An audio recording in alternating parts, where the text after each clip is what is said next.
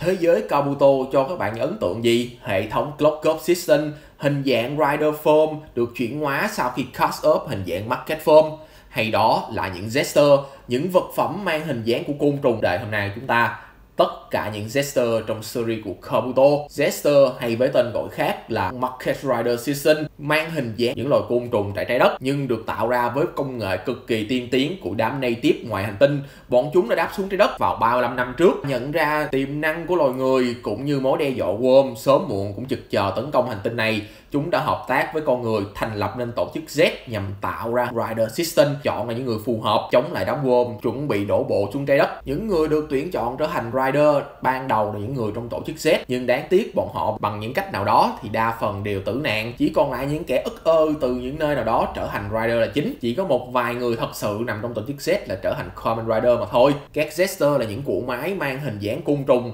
Bọn chúng di chuyển bằng một cổng di chuyển đặc biệt cho phép chúng chuyển động xuyên không gian và thời gian và lao tới vị trí của người chúng chọn nhằm giúp họ biến hình thành Kamen Rider. Cách di chuyển xuyên không gian và thời gian này tưởng chừng rất hiệu quả nhưng lại tồn tại một điểm yếu vô cùng lớn. Zester cũng như chủ sở hữu phải được đặt ở một không gian rộng, không có bất kỳ bức tường hay vật cản nào quá lớn. Đơn giản hóa chúng ta có thể hình dung bọn chúng chỉ có thể dịch chuyển xuyên không gian những khu vực trống trải mà thôi. Điểm yếu khi người sở hữu đang ở không gian kính đã được đảm quân tận dụng, chúng đã bám đuôi Tendo vì biết Kouto Jester sẽ không đến được tay anh.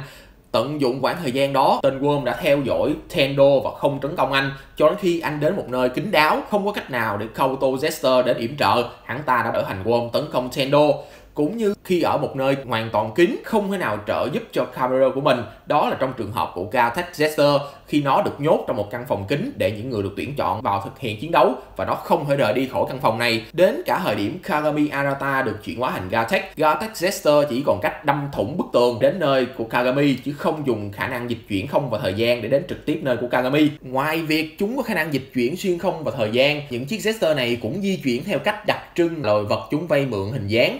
Kabuto hay The V hoặc Ray để di chuyển bằng cách bay. Nhưng riêng Kid Hopper và Ben Hopper, bọn chúng là động vật có thể bay được, nhưng đặc trưng của châu chấu và cào cào là nhảy, nên khả năng bay đã bị lược bỏ, thay thế vào đó chúng sẽ nhảy. Trong toàn bộ series, chúng ta có 12 Zester. mỗi Zester sẽ cho họ biến thành một Rider hoàn toàn khác nhau. Một số trường hợp sẽ khác nhau về màu sắc như Duck Kabuto hay là Kid Hopper và Ben Hopper.